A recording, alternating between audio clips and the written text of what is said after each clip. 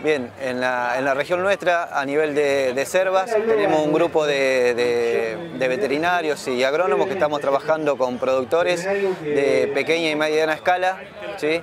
a través de, grupos Cambio Rural. Estamos haciendo trabajos de investigación, ensayos de investigación para, esos productores y, otros de mayor escala también. El 90% de los productores son pequeños y medianos productores.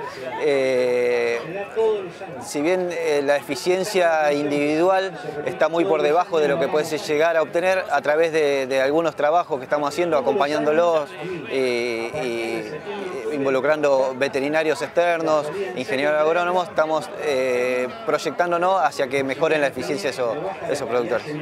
es la, primera vez que venimos, venimos acá a Navarro, a la lechonada, a la fiesta esta.